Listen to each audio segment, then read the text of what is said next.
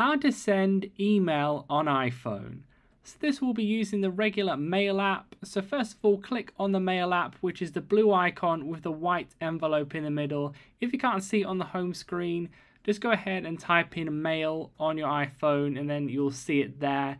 So once you've seen it, go ahead and click on it. Then it's going to bring up a screen which looks something like this, where you want to click the bottom right hand corner where it has this square with the little pencil icon in it.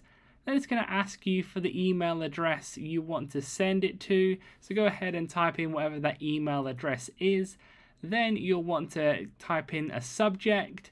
Once you've typed in the subject, then you can go and click the bottom part where it says uh, like sent from iPhone. You want to remove that. It looks kind of unprofessional and weird. So uh, once you've done that, you can go ahead and type in your email as you would regularly.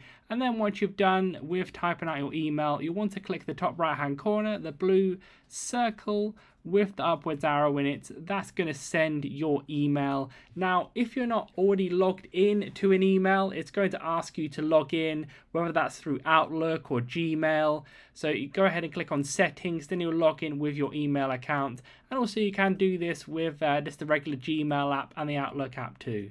So leave a like on the video if that helped and subscribe for more helpful videos.